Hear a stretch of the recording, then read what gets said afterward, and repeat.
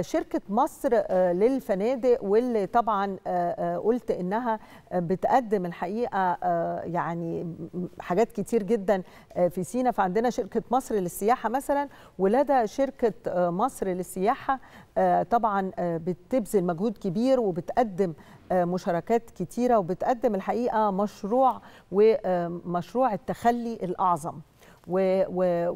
وخلينا نروح نعرف تفاصيل مهمة عن هذا المشروع للي طبعا عنده معلومة واللي مش عارف معلومات كتيرة. خلينا نعرف مزيد من التفاصيل مع حضراتكم. ونروح للأستاذ والمحرر السياحي والخبير السياحي الأستاذ محمد كارم. مساء الخير أستاذ محمد.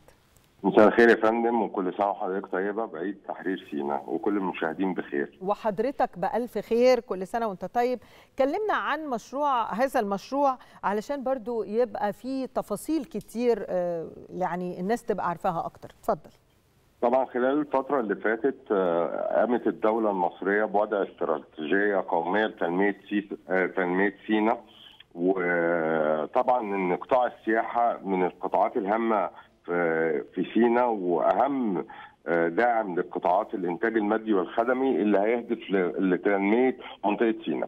وكان مشروع التجلي الأعظم من أهم المشاريع اللي الدولة اهتمت بيها خلال الفترة اللي فاتت وتطوير المنطقة من حيث المزارات الدينية من حيث البيئة المحيطة بدير سانت كاترين بالطرق المؤدية للمزارات بتشغيل السكان المحليين داخل منطقة كاترين في الحفاظ على البيئة والتراث السيناوي.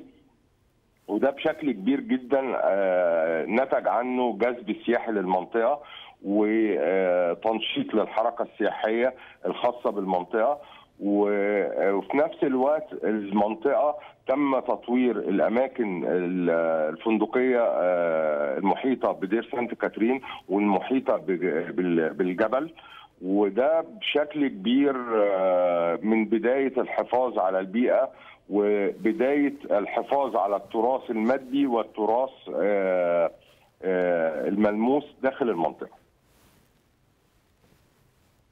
ألو إحنا مع حضرتك يا فندم. وطبعا الاهتمام دوت أدى إن إن مدينة زي مدينة كاترين أو سانت كاترين تكون من أهم نقط زيارة في البرامج السياحية الوافدة لمنطقة جنوب سيناء.